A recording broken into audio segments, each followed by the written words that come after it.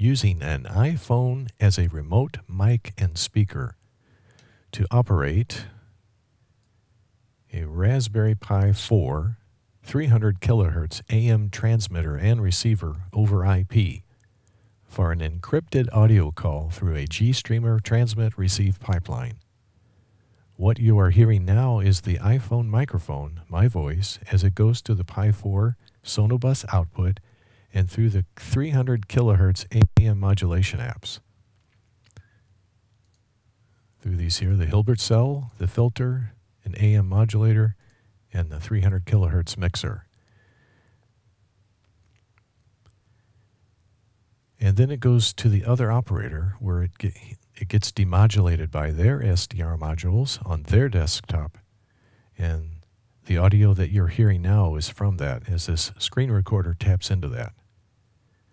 This Pi 4 300 kHz software transceiver setup is headless and is viewed over real VNC.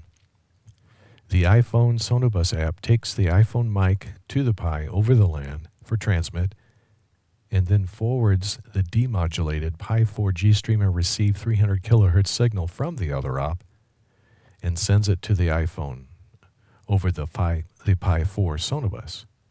Sonobus works in this 768 kilohertz sample rate environment directly. The Pi 4 jack audio connection bay is operating as a virtual sound card at this 768 kilohertz sample rate.